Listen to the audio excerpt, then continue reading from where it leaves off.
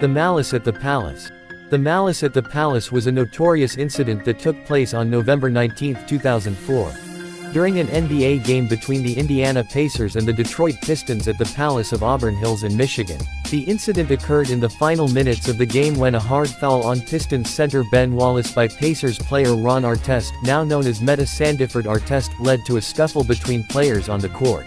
As the players were being separated, a fan threw a drink at Artest, who then charged into the stands to confront the fan. This escalated into a chaotic and dangerous scene, with players fighting with fans and fans throwing objects at players. Security and officials struggled to contain the situation. The incident resulted in severe consequences, including multiple player suspensions, criminal charges for some involved fans, and a change in the NBA's security protocols. It remains one of the most infamous and memorable moments in NBA history.